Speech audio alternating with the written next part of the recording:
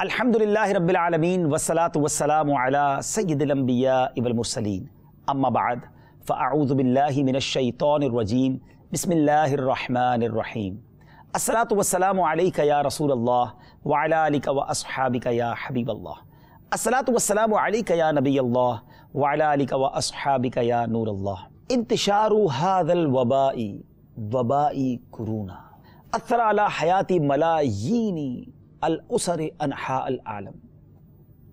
لأن كثيرا من الدول العربية والإسلامية في حالة طوارئ وإغلاق تام. ففي هذه الأوضاع السيئة وما تتضمنها من نقص في المواد الغذائية فمن المرجح أن تقتصر موائد الإفطار على أفراد الأسر الفقيرة والمحتاجة. فتعاني معاناة كبيرة لتوفير احتياجاتها الأساسية.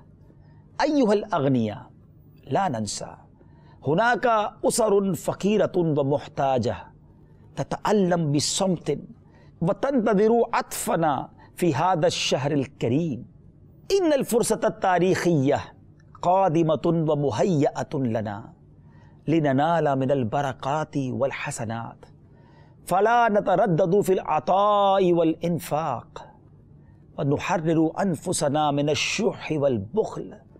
ونستعد لرمضان بالجود والإحسان. ومن المعلوم أن الصدقة في رمضان يضاعفها الله تعالى. إلى سبعين ضعفا. والله يضاعف لمن يشاء. والصدقة تطفئ غضب الله تعالى. كما يطفئ الماء النار.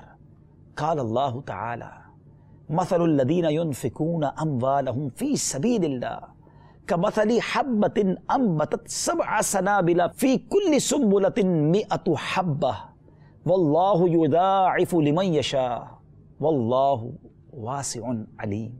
صلوا على الحبيب صلى الله تعالى على محمد صلى الله عليه وسلم.